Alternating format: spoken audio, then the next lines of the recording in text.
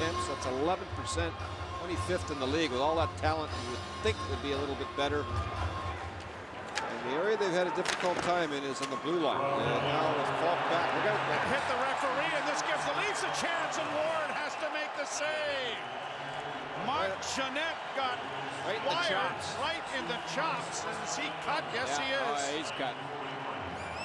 And uh, Andy Plater will take a Can't look at him. he's still standing up. He's got to be a tough guy.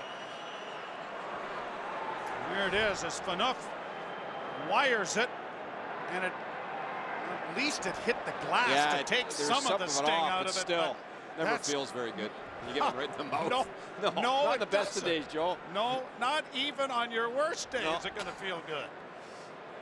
What I was going to say is Faulk, who was out for a, a few games, they missed him on the power play, and now they're using Staal as well to point the power play to try to get some playmaking from the back end as we look at that puck end up right in the face again. Oh.